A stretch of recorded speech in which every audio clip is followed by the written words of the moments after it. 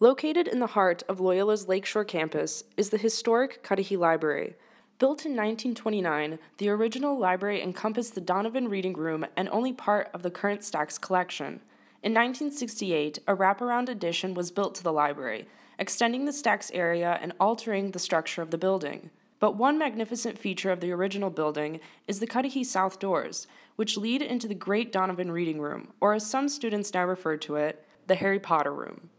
Well, it was called the Reading Room up until about two years ago, um, and then an, alum who actually was a librarian left a lot of money to Loyola, so they named the Reading Room after her. So that's why it's called the Donovan Reading Room.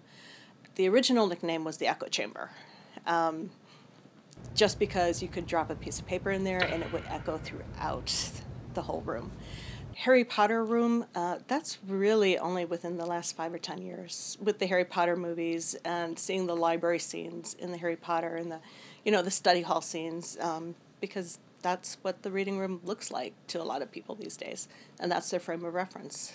Upon entering the reading room, one is greeted by a magnificent mural by John W. Norton, a famous Chicago muralist.